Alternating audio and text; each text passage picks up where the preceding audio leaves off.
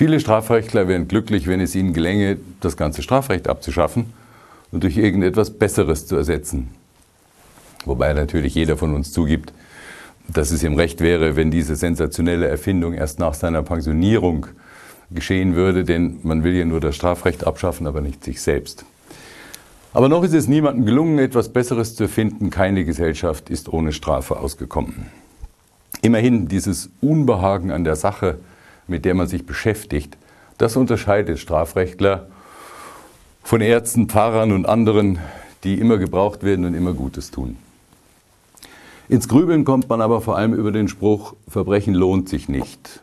Kann man ruhig mit einem Fragezeichen versehen, mit einem skeptischen.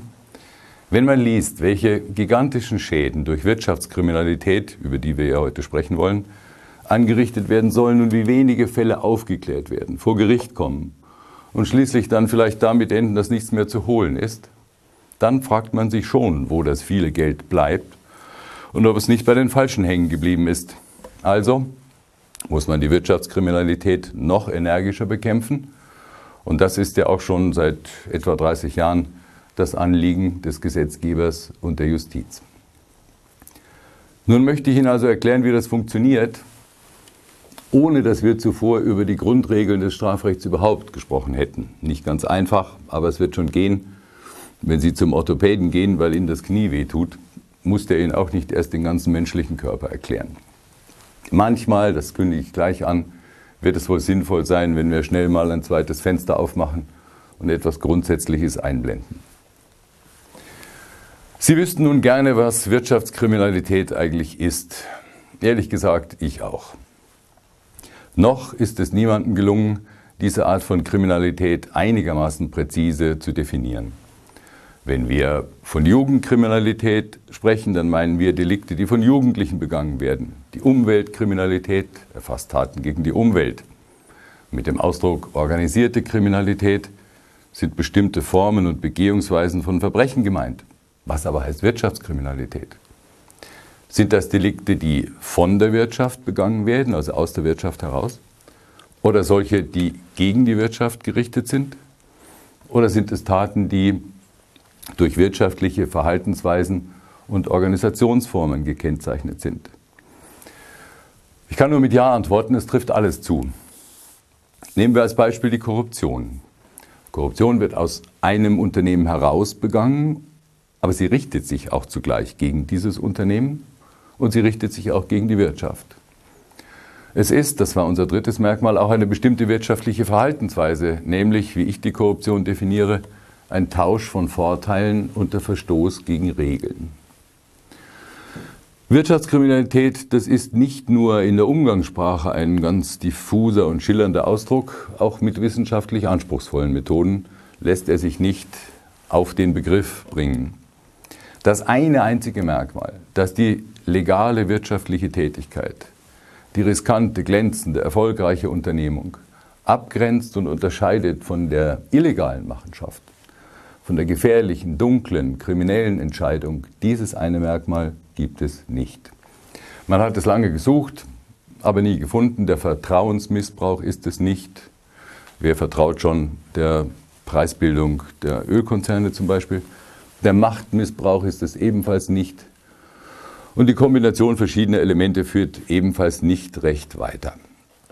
Noch in den 70er Jahren, als die öffentliche Entrüstung über Wirtschaftskriminalität gerade ihren ersten Höhepunkt erreicht hat, hat es Versuche gegeben, die Taten durch den Täter zu beschreiben.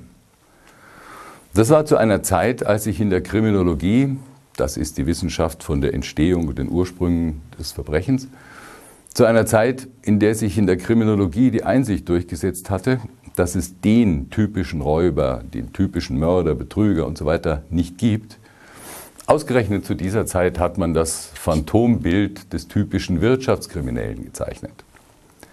Man sah da einen machthungrigen Egozentriker mit überragender Intelligenz, gewissen intimen Schwierigkeiten, vielleicht psychischen Auffälligkeiten.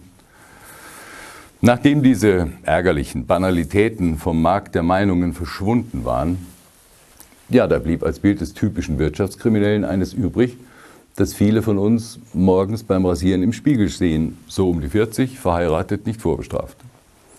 Es ist nun mal so, dass sich der eine hier, der seinen Vorteil anständig sucht, und jener andere dort, der die Leute unanständig übervorteilt, dass die beiden sich zum Verwechseln ähnlich sehen. Das alte Schema, wonach der Kriminelle der andere ist, das funktioniert nicht. Und zu dieser traditionellen Vorstellung gehört außerdem, dass der Verbrecher nicht nur der andere, sondern vor allem auch der untere ist, der Angehörige niedriger sozialer Schichten. Dieser bequemen Gesellschaftslüge hat das Schlagwort White Collar Crime ihre kurzen Beine weggezogen. Der amerikanische Kriminologe Sutherland hat 1949 für diesen Knalleffekt gesorgt, in allzu simpler gesellschaftskritischer Absicht übrigens, und damit eine Bewegung ausgelöst, die mit der üblichen Verzögerung schließlich auch in Deutschland angekommen ist, hier die Charts der öffentlichen Entrüstung gestürmt hat und schließlich zu Reformen geführt hat. Man hat diese Strafrechtsreform in Angriff genommen, ohne genau zu wissen, was Wirtschaftskriminalität nun eigentlich ist. Und als man dann gesehen hat, dass sie sich dennoch ganz erfolgreich bekämpfen lässt, hat man sich nicht weiter um das Definitionsproblem gekümmert. Und auch wir wollen uns nun von dieser Frage verabschieden. Es ist im Grunde immer ein Scheinproblem gewesen, weil es in Wahrheit um etwas anderes ging, um das richtige kriminalpolitische Konzept nämlich. White Collar Crime, der Name war Programm. Das Programm bestand zunächst schlicht darin, die Großen zu hängen und die Kleinen öfter mal laufen zu lassen. Inzwischen haben sich die Verhältnisse übrigens umgekehrt. Inzwischen muss man eher dafür sorgen, dass die Großen nicht nur deshalb gehängt werden, weil sie die Großen sind, aber das war ein Ausflug von den 70er Jahren in die Jetztzeit. Kehren wir zurück in die 70er Jahre, als die Reform in Deutschland begann. Dazu musste man zunächst die Strafverfolgung effektiver organisieren. Man richtete Schwerpunktstaatsanwaltschaften für Wirtschaftsstrafsachen ein, stattete sie aus mit wirtschaftswissenschaftlich gebildeten Fachleuten, die in der Lage sind, den wirtschaftlichen Sinn und vor allem den kriminellen Hintersinn von komplizierten Buchungstricks, verschachtelten Gesellschaften, dubiosen Geschäften zu durchschauen. Und außerdem sorgte man durch die Bildung von, die Einrichtung von Wirtschaftsstrafkammern beim Landgericht dafür, dass sich richterlicher Sachverstand akkumulieren konnte. Die Zuständigkeit dieser Staatsanwaltschaften und Gerichte musste natürlich irgendwie beschrieben und geregelt werden. Und so kam es zwar nicht zu einer Definition von Wirtschaftskriminalität, wohl aber zu einem pragmatisch ganz brauchbaren Ersatz, zu einer Liste von Strafgesetzen nämlich, deren Verletzung vor den Wirtschaftsstrafkammern verhandelt werden sollte. Bei Betrug, Untreue und den Bestechungsdelikten, klassischen und besonders häufig auftretenden Taten, entschied man sich für eine, naja, positiv gesagt, vornehm ausgedrückt, salomonische Lösung. Die kommen nämlich, diese Delikte, vor die Spezialkammern, wenn, ich zitiere aus dem Gesetz, zur Beurteilung des Falles besondere Kenntnisse des Wirtschaftslebens erforderlich sind.